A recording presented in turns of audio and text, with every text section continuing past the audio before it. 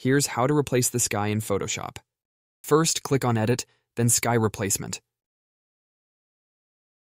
Click in this box here to select a new sky.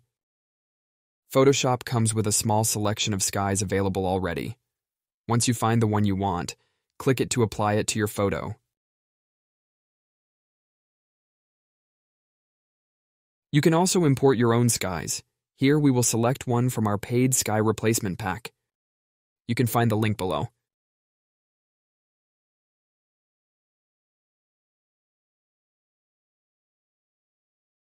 You can also change various settings such as shifting the edge or fading the edge.